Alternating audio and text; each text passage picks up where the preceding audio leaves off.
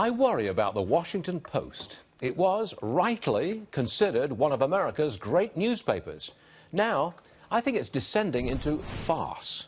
Look at this. Trump briefly glanced at the sky without protective glasses. Oh, the horror.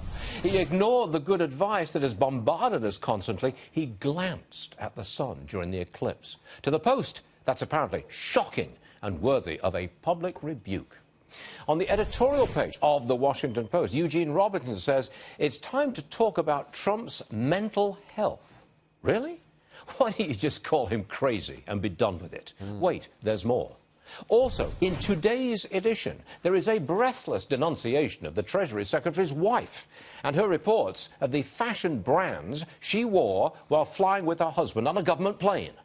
The couple paid for the flight out of their own pockets, but the Post reporter still finds the story bizarre. I think it's the Post that is bizarre. This is not the reportage of a great newspaper. Apparently, it is the reportage of a newspaper now owned by a leading Trump critic, Jeff Bezos. He is the founder of Amazon. He's worth close to $90 billion. What we're looking at here is a journalistic disaster.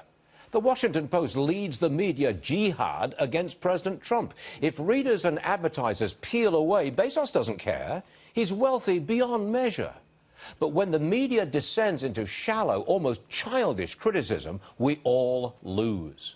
The fall legislative season approaches. We need a media that dissects tax cuts, infrastructure, healthcare and growth. We don't need silly little pieces about glancing at the sun or the clothes of a Treasury Secretary's wife. And we certainly don't need dangerous and unfounded speculation about the sanity of our president.